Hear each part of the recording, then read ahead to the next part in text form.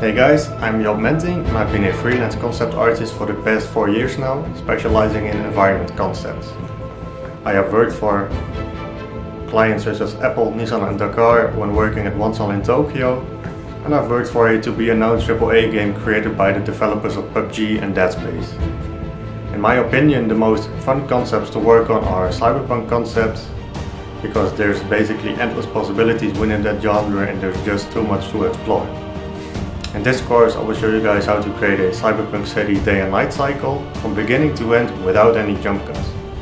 I've recorded my full optimized 3D to 2D workflow to create high detailed concepts within a limited time frame and I'll make sure that it's easy to follow so that even beginners can follow along as well. To make sure that it's even easier to follow I've included all the original files and brushes as well. I'm really honored to be able to collaborate with you on this tutorial and that they gave me the opportunity to publish my work on their platform and the Chinese market as well. So I really hope that you guys can learn a lot from me in this tutorial. I'm looking forward to see you guys create a similar cyberpunk city as well. So thanks a lot guys, see you guys.